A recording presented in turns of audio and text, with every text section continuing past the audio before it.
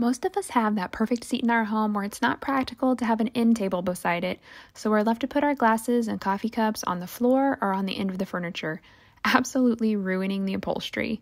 I received this silicone couch caddy as a gift and it is absolutely perfect.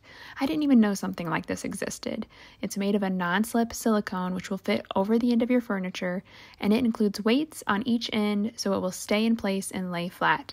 It's the perfect size to fit a couple of remotes or a book and a nice cup of coffee. Look how perfectly a mug fits in this. This has been so handy to have at our house and I hope you enjoy it too.